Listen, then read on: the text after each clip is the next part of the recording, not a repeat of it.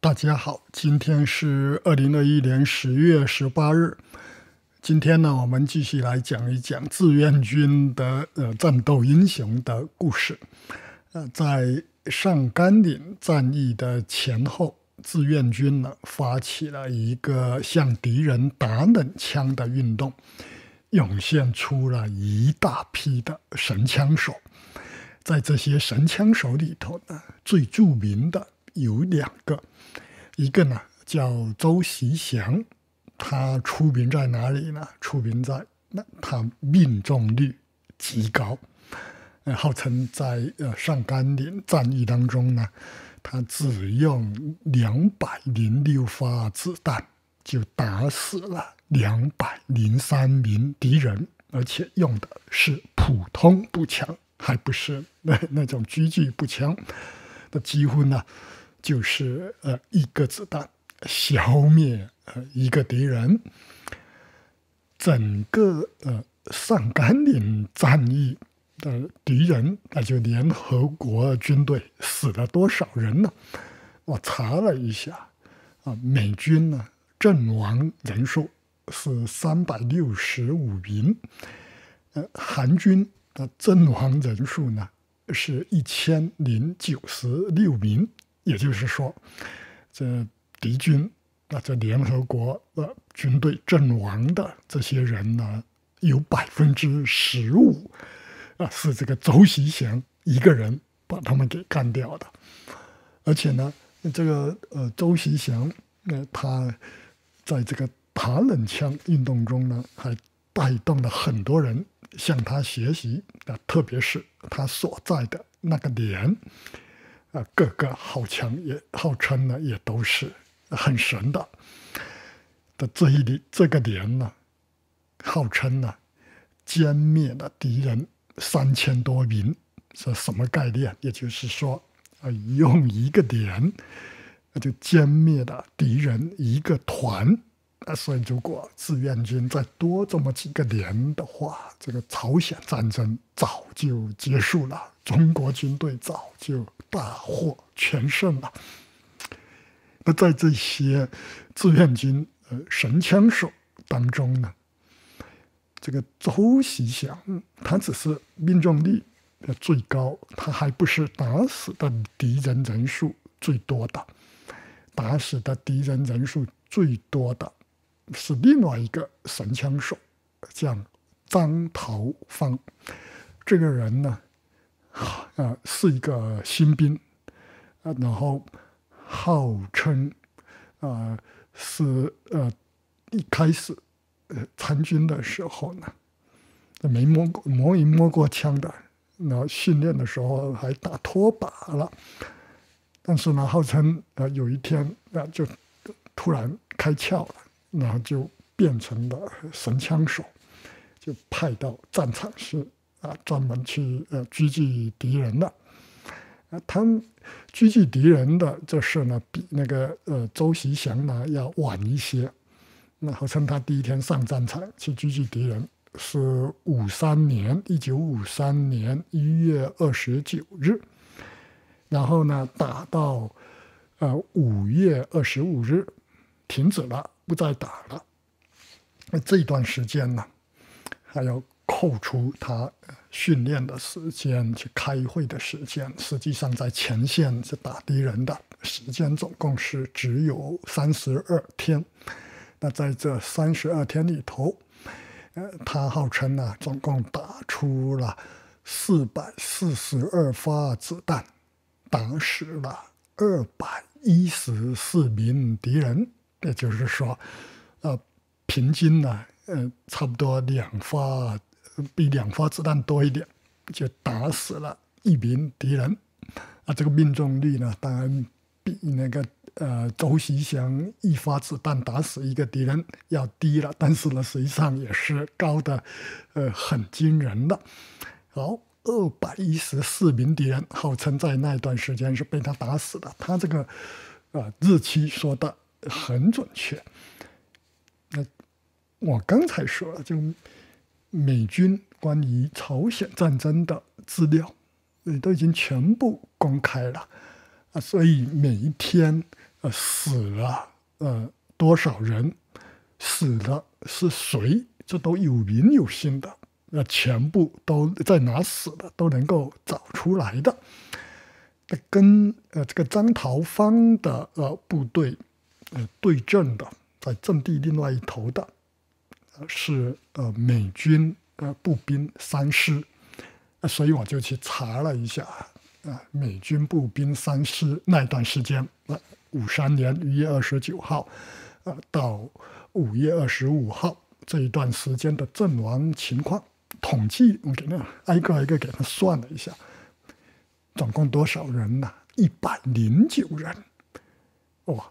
张桃芳号称在那段时间就打死了敌人。呃，两百一十四人，还不是每天都打，总共才打了三十二天。你即使把每天的阵亡的敌军阵亡的人数、美军阵亡人数全部都算给他，也只有一百二零九人，还不够他打的。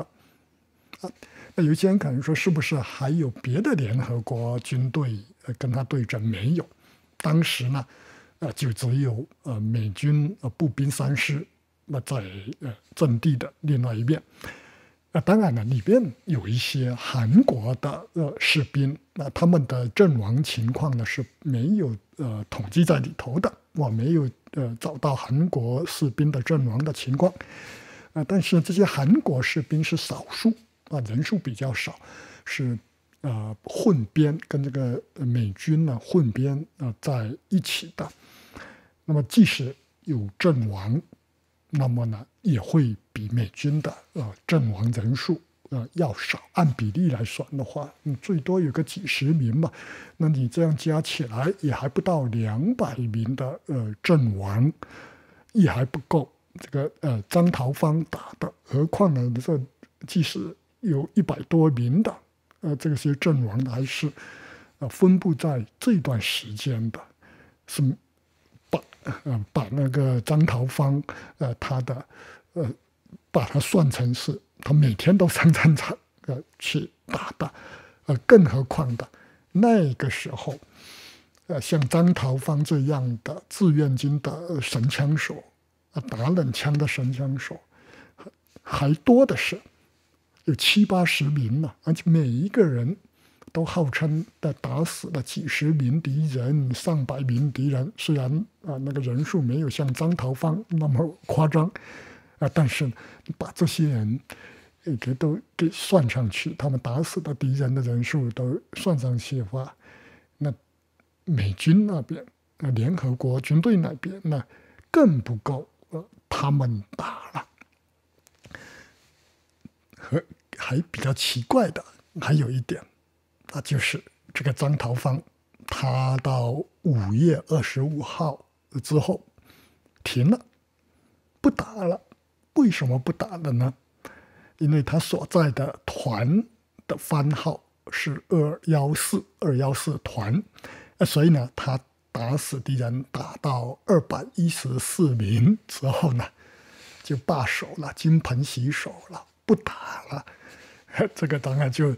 让人觉得很纳闷，难道你要打死多少名敌人，还有一个配额的，这人数达到了，你就不打了，那就退下去了。这实际上他呃五月二十五号，呃他不打了以后呢，这个朝鲜战争还进行了两个月啊才停战的。他少打死了多少敌人？如果这两个月还继续打下去了，那可以再。多打死很多呃敌人的，难道他打的呃手软了，心慈了，发慈悲了，就不打，不再打了？呃，他还更呃真实的一种情况，就很可能，那当然就是他的这些事迹其实是编出来的，那么宣传出去了，那怕说啊再继续表演下去。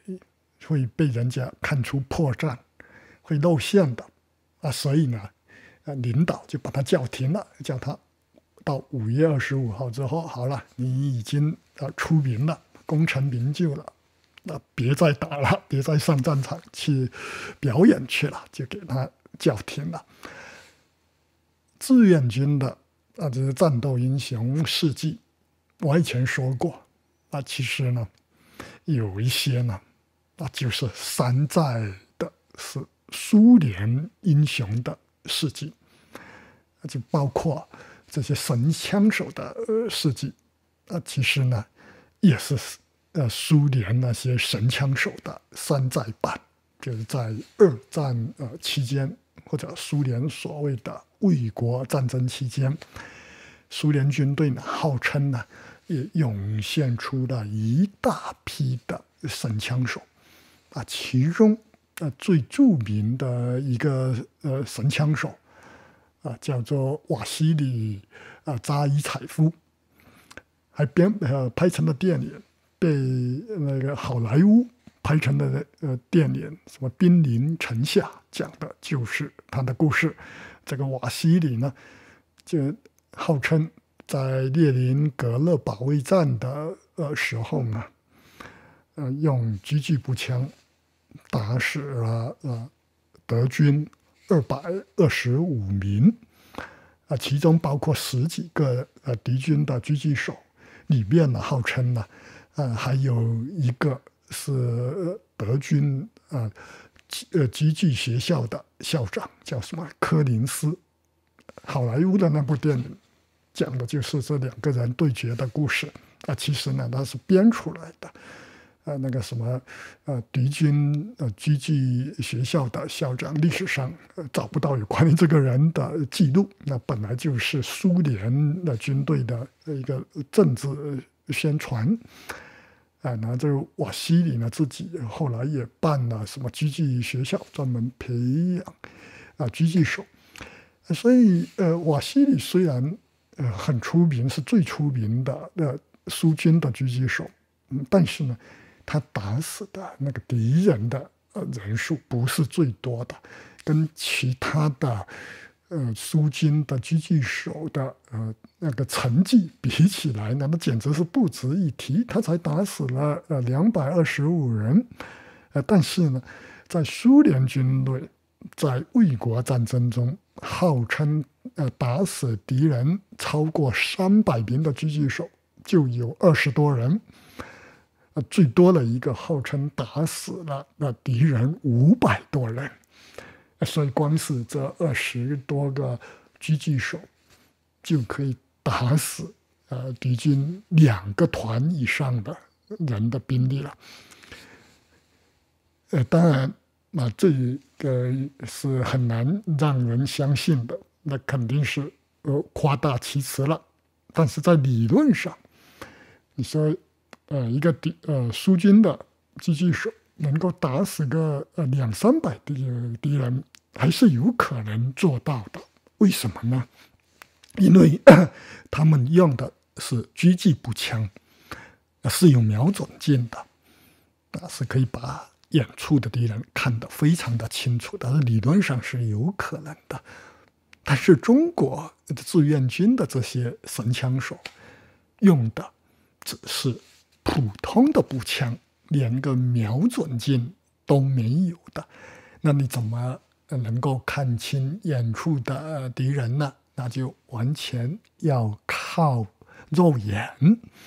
所以呢，必须要宣传啊，这些神枪手他们的眼睛视力非常的好，呃，跟一般的人不一样，有超人的视力。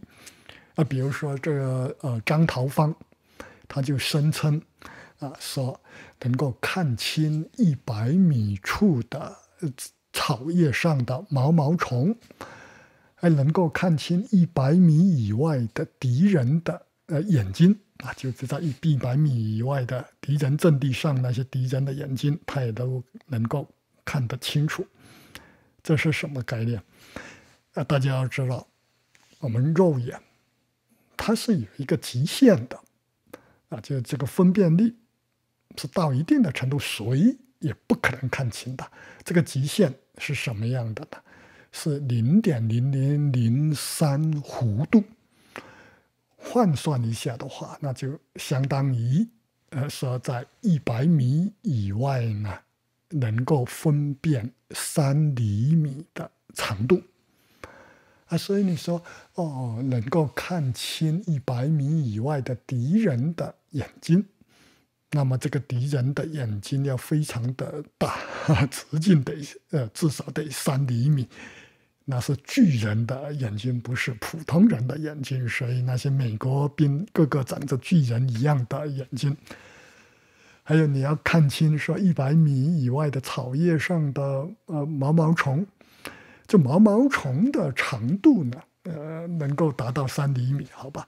但是呢，宽度呢，你这宽度也必须达到三厘米才有可能看清了，不然你怎么去跟那个草叶呃分辨呢？对吧？那有身宽三厘米的毛毛虫，世界上有吗？